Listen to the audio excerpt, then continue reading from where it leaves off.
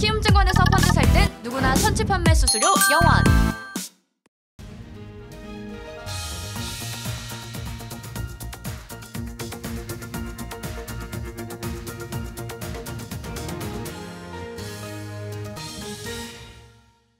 자, 내일장의 투자 전략입니다.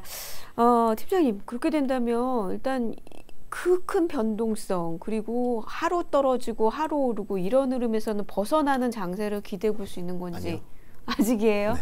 아하, 이게 네. 왜 그러냐면 그 우리나라하고 우리나라 같은 경우는 검진 표본이 되게 많아가지고 확진자가 좀 많이 증가를 했지만 엊그저께 그 거의 99% 했다고 그랬잖아요. 네, 네. 발표를 했었기 때문에 예, 예. 어, 여기서 이제 우리나라 같은 경우는 거의 피크를 이룬다고 봐요. 음, 음. 자 그러면 미국 같은 경우는 지금 현재 100명이 넘어섰어요.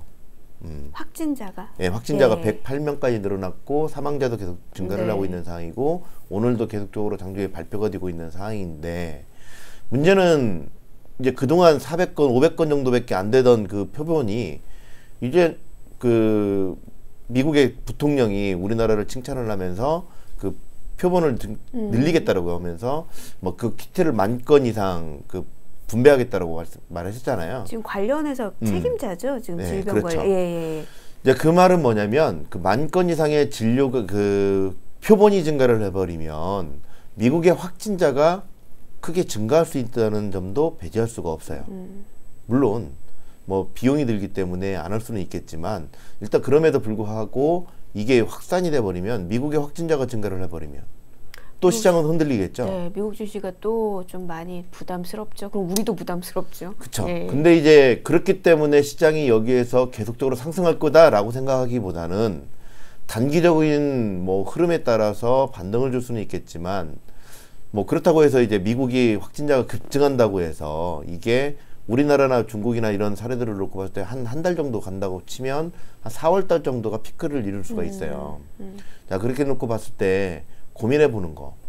야 그러면 만약에 변동성이 확대될 때 어느 정도까지 빠질까 이런 고민들이 있는데 우리나라 같은 경우도 뭐 계속적으로 말씀드렸지만 오, 그 PB, PER 5년 평균이 뭐 valuation이기 때문에 PER로 따지는 걸로 네, 네, 생각하시면 네, 돼요. 네.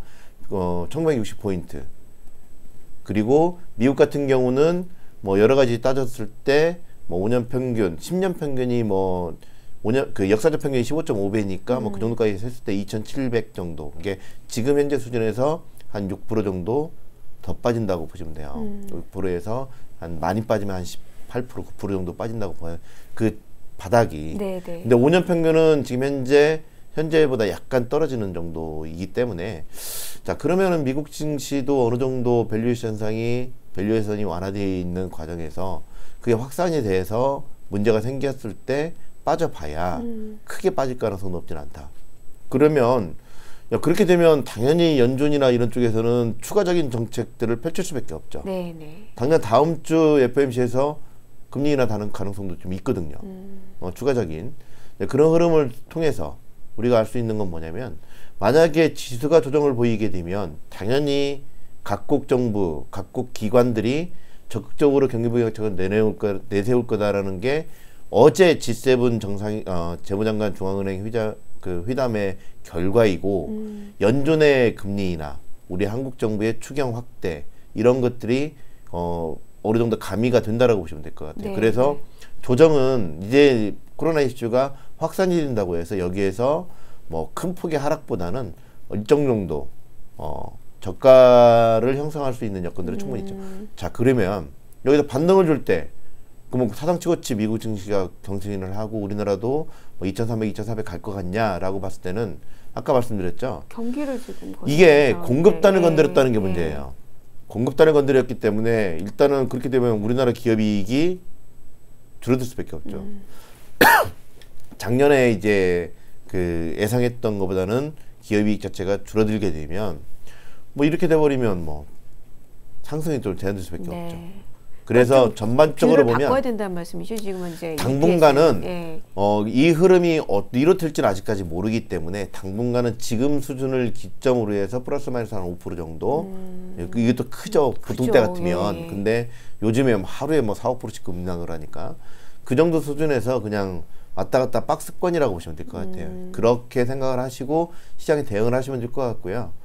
어, 그 자세한 것들은 나중에 계속적으로 뭐 이슈가 발생할 때마다 채널 K 방송을 보시면 되니까 그렇게 참고를 하시면 될 것 같습니다. 예, 알겠습니다. 오늘은 참 많은 이슈가 있었는데요. 어쨌든 어, 박스권에서 한 달께 또 올라가기 위해서는 어, 또 뭔가 모멘텀이 좀 필요한 것 같습니다. 아, 그 전까지는 현재의 여러분들 전략도 계속 유지를 하시는 게 좋을 것 같네요. 자, 여기서 마무리를 짓도록 하겠습니다. 자, 마감 결과 잠깐 빠르게 살펴볼게요. 2059선으로 마무리가 됐습니다. 45포인트의 상승으로 마무리가 됐습니다. 어, 장중 고점 부근의 마무리가 좀 눈에 띄고 있는 상황이고요. 코스닥의 경우 역시 14.91포인트, 종가가 고가입니다. 이렇게 끝난 모습입니다. 자, 그리고 어, 수급적인 흐름에서는요. 외국인들이 1,500억까지 조금 아쉽네요. 매수세를 좀 더 확대하길 바랬는데 요거는 좀 무리였던 것 같습니다. 오늘 같은 경우에는 선물도 매수 우위가 계속 유지가 되면서 현재 흐름이 나오고 있습니다. 어, 환율은요 1187원대에서의 움직임으로 정리가 되고 있습니다.